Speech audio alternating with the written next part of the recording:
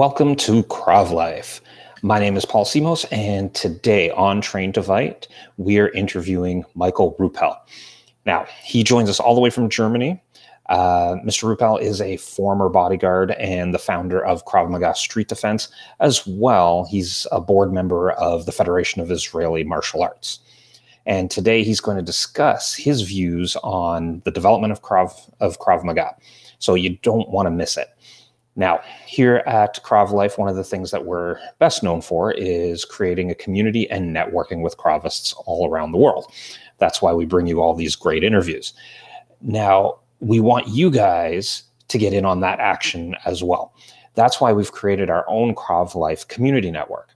Basically, it's a place where you know like-minded people like uh, like you and I, uh, Kravists, can get together and discuss everything Krav Maga related.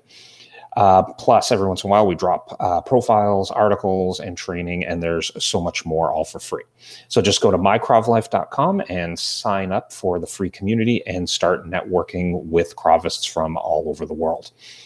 And while you're there, be sure to check out our Krav Maga directory and find a place to train near you. So, without further delay, here's Michael Ruppel.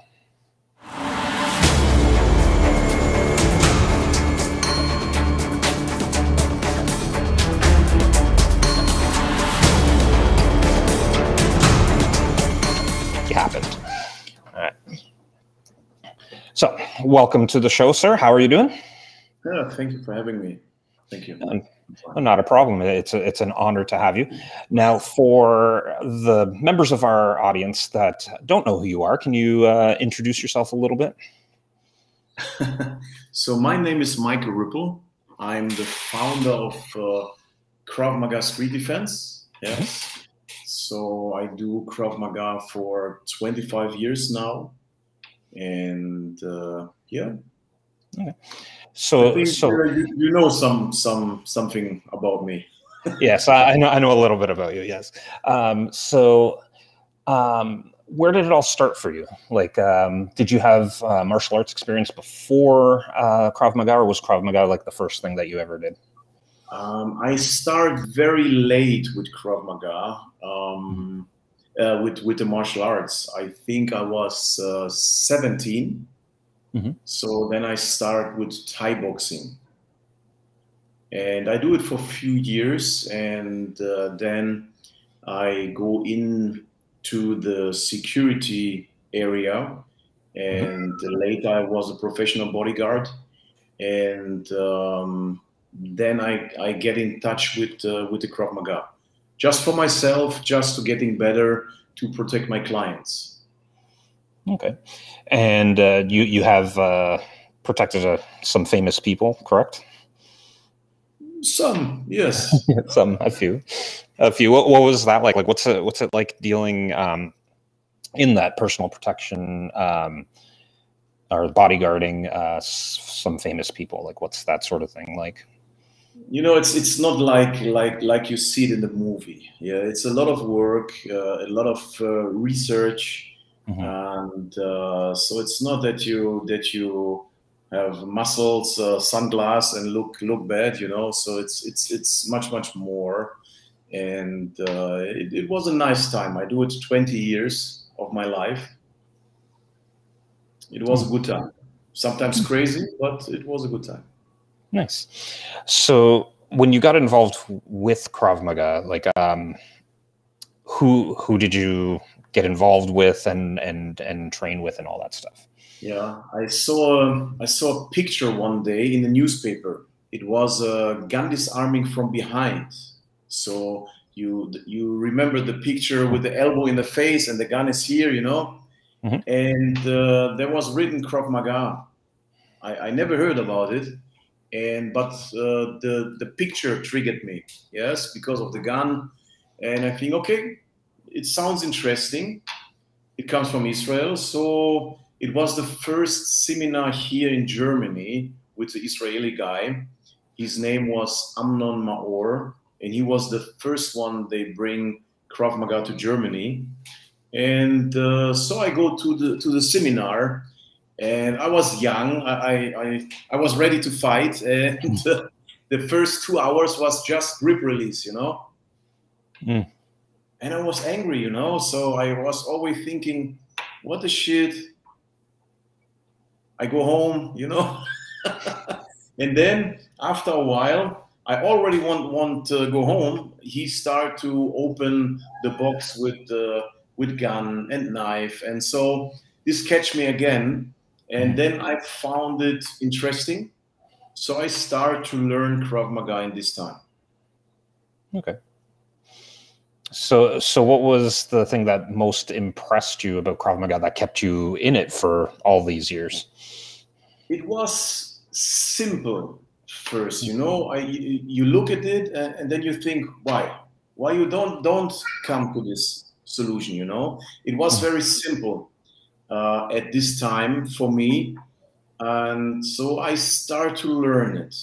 But later, later on, many years later um, I make some changes because um, I train with all my guys from from the bodyguard company, and you know everybody look at like me, and then uh, I tell them, look, today we train. You know, I show you a little bit Krav Maga, and uh, so I give them the gun and tell them to fret me, and uh, I tried to disarm the guys, but it was not possible with the with the Krav Maga technique I learned. So I was surprised and I think to myself, wow, it doesn't work in this way we train in the gym. So, so where is the mistake? And the mistake was the the guys react. You know, immediately I if I grab the gun, the guys getting crazy. They pull back. They start to fight, and I was not able to disarm. You know, so I was disappointed about this because I learned it uh, for a few years and. Uh, now I see it doesn't work, you know, and uh, so I start to make some changes. You know, for example, the, the most people even today they go to a gun and start to punch, you know. Mm-hmm. But uh, trust me, doesn't matter how strong, doesn't matter how fast you are. If someone start to react, you will lose, and you will lose not only the fight, you will lose your life, you know. So, and I teach most of the time um, that I go with, with two hands immediately to the gun to prevent the pulling back reflex. Mm-hmm. So, so why do you think um, that uh, Kravists continued to teach um, techniques that didn't uh, take the pull reflex into account? you know the problem is what i you know i, I study many many years um, also different kind of, of styles of krav maga and uh, but the most of the guy their focus was on making business mm. you know everybody want big schools many schools and uh, this cannot be you know it's it's it's it's a money making system. And this was not my view because uh, for me it's important. If someone come in my gym i will give him the best tools i have that he can survive in the street. Okay. So this was always my focus. My focus was what, what was not that i uh, think okay I, I need in, in 10 years i need many schools you know i need many instructors i need this i need that. My focus was always on training. Training mm-hmm. and techniques they work under stress under pressure. Okay. And um and so how how do you uh, test that like how do you how do you stress how do you particularly stress test a, a, technique to make sure that it works for you know the the little woman versus and and a big guy and works for everybody right yeah yeah yeah so first of all i train with with my strong guys Mm-hmm. You know, and all of them are are from uh, security, martial arts, crazy guys from the streets. You know, and they are very strong and crazy, and uh, they act like a like a violent guy. And so I train with them, and if I found a way that it works, then I put it into my group. Right. Yeah. Let's say I have uh, 30 people on the mat, and I show them now the technique. It's it's like a it's it's like a search, you know. So I search for weak things, and for me, it's not important that I can make the techniques. For me, it's important that the weakest part, the weakest person in my gym, can make it happen. Mm-hmm. So, and if I see it is good, then I take it and I work on this and, and, and I bring it out. And if not, I throw it away and we train more, you know this is the way we do it.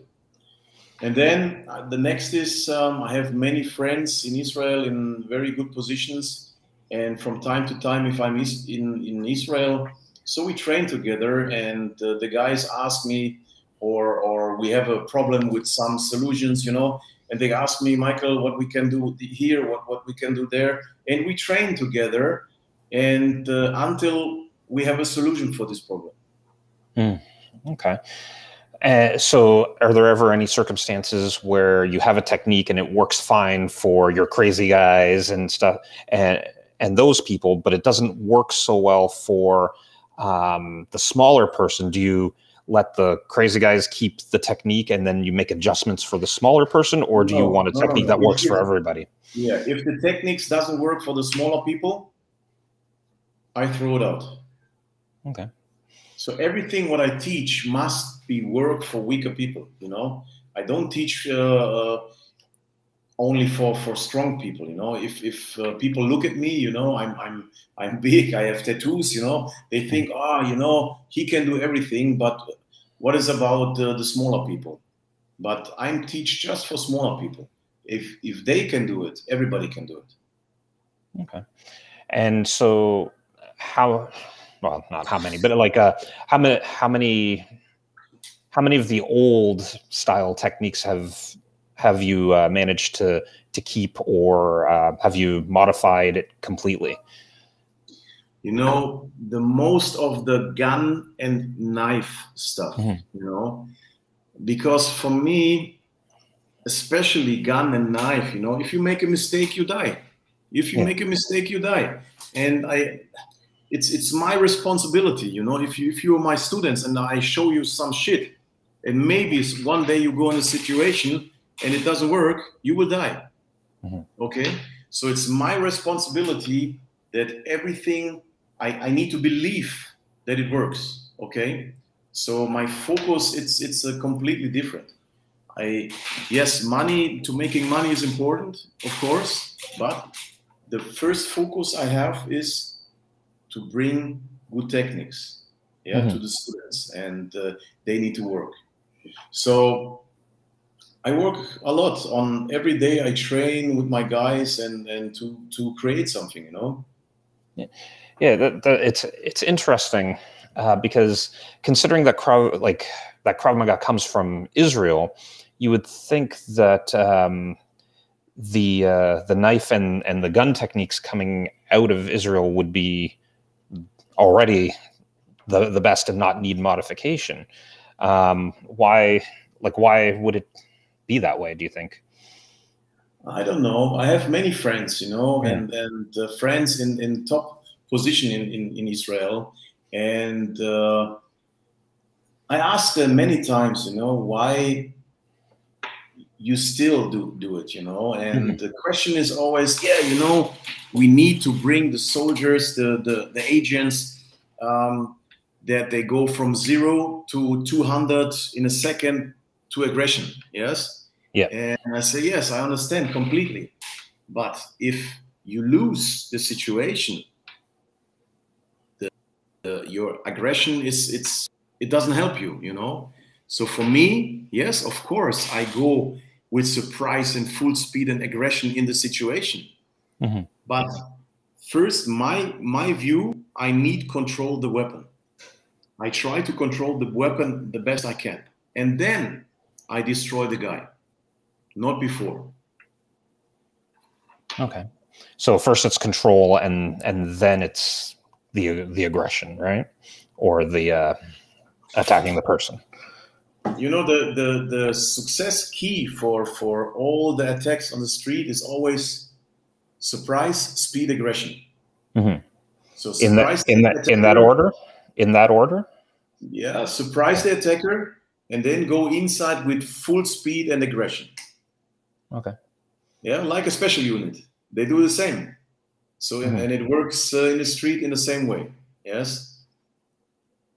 So my the... focus is more that um, I I protect myself with more control about the gun or about the knife.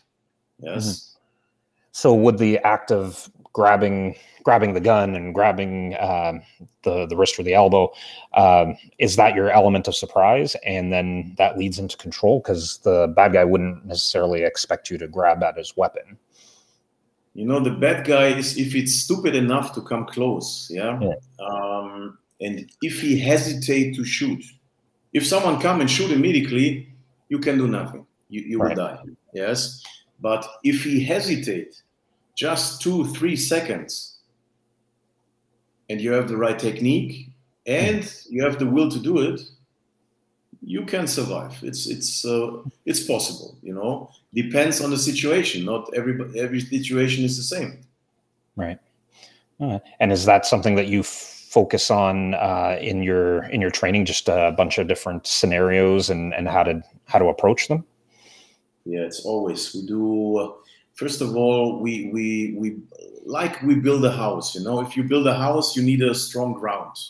Right. Yes and then you need the walls and on the end the roof and this is how we build the training you know um, we start with the with the technique training yeah so for understanding why we do it and then comes pressure pressure training under under crazy circumstances always must be functional under pressure Mm-hmm. Otherwise, it makes no sense. Right. That makes sense. Um, so, one of the things that uh, you're kind of known for is the uh, is the fast disarm of the gun, right? How, how did that, how, how did that come about? Um, yeah, I, I, I, tell it to you. Good that you ask. Um, you know, I had a problem. If I'm in a sitting position, Yes, mm. if I'm in a sitting position, doesn't matter if I'm maybe in the car or maybe I sit on the ground or whatever, or I'm on the knees. And the guy threat me, and I go with with two hands on the gun, yes, and mm-hmm. try to do this technique. Um, he's still able to pull, so he can bring me out of balance, and I lose the control, you know. Mm-hmm. And so I look for something else, and then I found the, the problem, the enemy about gun and knife is the pulling back reflex. Yeah. It's always the same. If you do something, the attacker will do something. Yes? It's not like you train with your partner. If you do something, the attacker will go crazy. And this you need to keep in your mind. So mm-hmm. my focus was that uh, I need to prevent this pulling back reflex. I need control. So what we do is that we go in one line to the gun, yes, and with this end, I go to the part of the thumb, yes, and immediately if I'm there already, it's not possible for him to pull back anymore because I already have the control, yes, and uh, so this was the reason I create this technique because of the sitting position on the ground or on the chair. And of course, it works very well if you stay. Mm-hmm. Yeah, and I do it for many, many years. I think I put it outside first time on YouTube, let's say 2000, 2007, 2006, something like this. Yeah. I don't know. And uh, so before, I don't see it. Before, I don't see it. You know, in Germany, before um, I start long time ago with the Krav Maga, and then the IKMF came, you know, and then they start to bash a little bit against other Krav Maga instructors. And some of the guys say, yeah, you know what? Um, don't go to Michael because this is not Krav Maga what he teach. Mm. Yeah, because I don't do this. Yes. So if you if you don't do it, it's no Krav Maga. And I tell them, look, guys, it's no problem. You can think what you want. Come to my gym and we train. Come to my gym and show me something better. nobody come, you know. Mm. And I was, uh, I think, 2000. I think 2008 or 2007, I was in Israel. Mm-hmm. And uh, I was in the training. It was the last day of training, and some of the guys came to me and asked me, Michael, can you show me your gun and your knife techniques again? I say, yes, I can show it to you. And he say, can I record it? I say, okay, feel free, do it. Yes. And so I show him some of my techniques, he recorded, and then I fly back to Germany. After three weeks, he called me and say, Michael, um, I show your stuff some people here. Say, okay, cool. and he say, okay, they was very surprised about it and they want to learn it. And I tell him, okay, next time if I come to Israel, yeah, we can do it. He said, no, no, no, no. You don't understand. We come to you. I say, Yes, really? You won't come to me? Yes, we come. So they come with some people to Germany, and uh, but people from very high positions in some some units. Yes, yeah. and we train we train uh, this stuff, you know. And before, sometimes you doubt about yourself, you know, because mm-hmm. uh, some I'm I'm not the guy they say, you know, I'm the best. I'm you know I I have right all the time. This this is not me. Um, I sometimes I ask myself, maybe the other guy have have right, you know. So, but in the time the Israelis come to Germany to learn my techniques, I know I'm I was on the right uh, on the right spot, you know. So from this time, I don't look right, I don't look left, I just go my way mm-hmm. until today.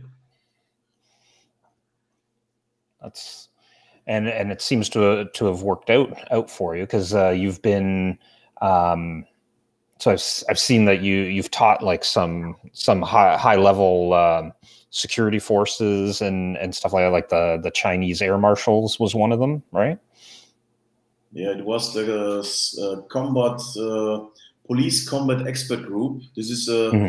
police group they um, train all the units in in China and they look always for some instructors. They show them something uh, special. Yeah. How is it working with the Chinese? Uh, you know, they are funny. They are very funny. So they order me for for some special techniques because of gun and knife in close yeah. close rooms, and let's say also in the in the airplane for for air marshals. Mm-hmm. And there were SWAT teams there, all kind of people but um, from time to time they, they come and say michael um, we have another problem. What do you think about this? Can you show us this? Can you show us that you know? So mm-hmm. they was nice. I had a very good time but they try to use you, you know? So oh. they, they record everything what you say everything what you do. It's a big camera on you. And uh, so after a while I, I tell them look I can I can show it to you next time. yeah. So they don't get it all at once, right? Yeah, yeah, yeah, really. Yeah. Yeah. No, that's that's fun. It, it's and, and, I think that's part of the um, the spirit of of Krav Maga is to learn from each other, right? So that um, s- someone someone else might have something better, and it's and it's important to keep an open mind. And I'm glad that that people started listening to you. Um, so, how did you get involved with uh, with FIMA then? Um, you know, Shuki is a, is a is, is like my brother.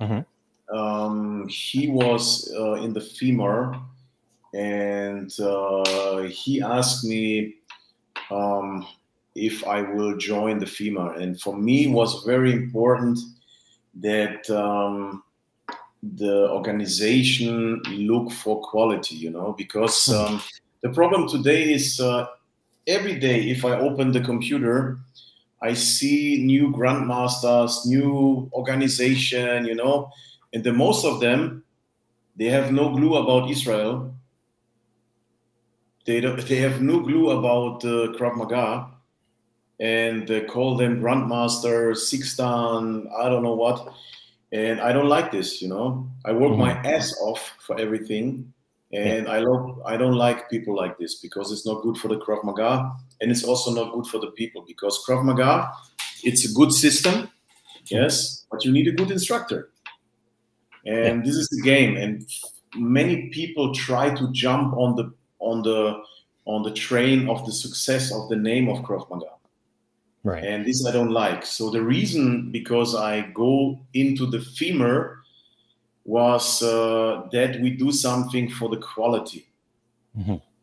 Yes. So um, I'm I'm one of the board directors there, and so we try to to build um, umbrella for Israeli martial arts, but for people they really, um, yeah, want really want to learn to Krav Maga and and uh, you know for, for me it's Krav Maga not just uh, Krav Maga.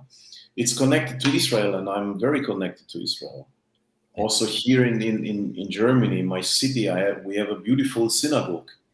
And mm-hmm. from time to time I go there with my new students today it's a it's a museum for Israeli uh, culture. And so for me, it's important that the people understand it's not just a martial art. Yes, you, you see, if you if you today you can get killed, you know, if you if you go with this and the and the wrong people see it. Mm-hmm. You know what I mean, yeah? Or you you have a shirt with the Star of David, David. Yeah today somebody kill you you know and the people need to understand it's not just the martial art it's a way of life. It's a way of thinking. Yeah. Yeah definitely. Um and is is the situation in in germany um like is there a lot of tension between um you know Jew, uh, Jewish Jews and uh, neo Nazis and uh, and Arabs? Like, is is that a thing there, or is that more mm, outside of? I do it now for 25 years, and uh, sometimes, if you know, I have here also a big star of David of my of my arm. Mm-hmm. Here I have my master on my chest, you know, also with the Israeli flag and sometimes I, I see some guys, they look at me and you see the hate, you know. But what they can do? Nothing. Yeah. You know? Yeah. So if they try something, it was uh, not, not good for them. No, and, definitely. Uh, so from time to time, you, you see some people from, I don't know if it's Nazi or, or maybe from, from other countries, you know, mm-hmm. but you see it, you know. And maybe if you're weaker people, they will attack you. It can happen. But it's not only in Germany, it's all over the world. Yeah, yeah. Yeah, definitely. We, we, we have our share of that uh, uh, here as well. Um, so if you had a um, kind of like a, a, tip or a suggestion for anyone that's looking into Krav Maga or start or just starting Krav Maga, where what would you what would you say to them? You know, today you have Google. yes. So yep. if you want to learn something, Google, Google, take some information, you know. If you found a homepage and there is written Krav Maga, blah, blah, blah, and uh, there are not so many information, that means there's nothing. Mm-hmm. So if you look to my site, there are much, much information, maybe too much but because I want, I want, you know, I can everything I can show you in in in I, I, I can read it to you, I can show it to you in pictures and videos, and and look for someone they have experience. You know, mm. they he is connected with Israel. He have a good education. Don't go to the next karate school and. Uh, whereas you know he do 20 years Krav, uh, karate and it doesn't work so well and then he do Krav Maga Mm-hmm. So, but you can you can see it. You can see it if you look to the home pages. You you can see it. Yeah. Well, and for for yourself, Um, where where do you see your career going from here? Like, do you have any any goals that that you've set for yourself, or um, any cool projects coming up? I tell you, I never had a had a goal. You know, I yeah. I just go with the flow. you know, yes, nice. really. I, I never want to have uh, many students. You know, so I started with three students for many many years, and now I think we have maybe something like 4,000 students in the world. Yeah. And uh, I also don't look for, for many schools. I do it now 25 years and we have 25 schools. Okay. Okay, not much. Um, because I don't take everybody. Right. Yeah, people write me and say, oh, I, I, I want a black belt in Krav Maga. Mm-hmm. Yeah, you can come and train with me you know? So some of the people try to buy it. I say i don't want your money. Come and sweat. Show me. Show me what you can do. You know? Mm. so this is the way. I, I, I don't have a goal. You know for me it's important that uh, yeah i try to make the world a little bit safer and better. And um, i work with, with many units together um, I work with, with my private clients together. So for me, it's important that I give them the best I can. Right. So now, now that everything's opening up, do you have any uh, plans to uh, to tour or do uh, do any seminars? Any plans to come to North America? Um, the next is um, Texas. Okay. I have a sheriff department in Texas. They want a big course for some special units there. But uh, I'm not sure if it's possible this year because I'm very busy here at the moment. Yeah. And um, so maybe next year. This year I do some seminars here in Germany mm-hmm. in my in my uh, gym. So some instructor education, some weapon instructor educations, some civilian seminars, and uh, but out of the country, I think realistically, is it uh, next year? Hmm. And hopefully everything stay stays open uh, long enough for uh, for us to uh, get to see you, um, and hopefully I get to get to meet you in person and uh, and get to train I look with forward. you. I look forward to yeah. this. Yes, of course. Yeah, need an ex. I don't go to Europe very often, but if uh, if I'm ever in Germany, I'm definitely coming coming over there. Um, you're, welcome. Perfect. So I want to thank you for your time. Um, if people want to get a hold of you, uh, what is the best way to do that? Um, they can connect me about uh, Facebook under Michael Ruppel, my name. They can connect me under my system, Krav Maga Street Defense. Mm-hmm. And you found me on, on Instagram. You found me on YouTube. Mm-hmm. Yes, we have I think almost 300 videos on on YouTube for, of many stuff, and uh, yeah, you have many ways to find me. The people can connect you, and you can. Yeah, we'll definitely do that. Yeah, definitely do that, and we can definitely add your uh, your studio to our uh, online uh, directory of Krav Maga studios to our worldwide directory, and uh, and they can connect with you that way too. All right. Well, thank you for for coming on the show. It's uh, been a pleasure talking with you and very insightful. Um, and hopefully come back on and we can discuss other Krav Maga related topics in the future. Always. Yeah, always. You're welcome. Thank you All very right. much. All right. Thank you very much, sir. Awesome. So I want to thank Mr. Ruppel for being on the show, and I want to thank you for listening in. Now, if you enjoyed this episode and you'd like to help support the podcast, please share it with others, uh, post about it on social media, or leave a rating and review.